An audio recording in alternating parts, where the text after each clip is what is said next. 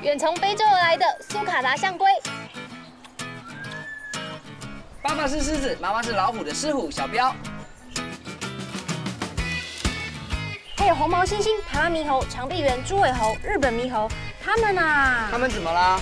他们真的都很迷人呢。但是啊，只能永远待在笼子里。林科大保育类野生动物收容中心收容了大约一千只的野生动物，这些动物因为种种原因，几乎无法再回到原本自然的生活。如果啊你想听听更多他们的故事，欢迎你来到这里，不过记得要先预约哦。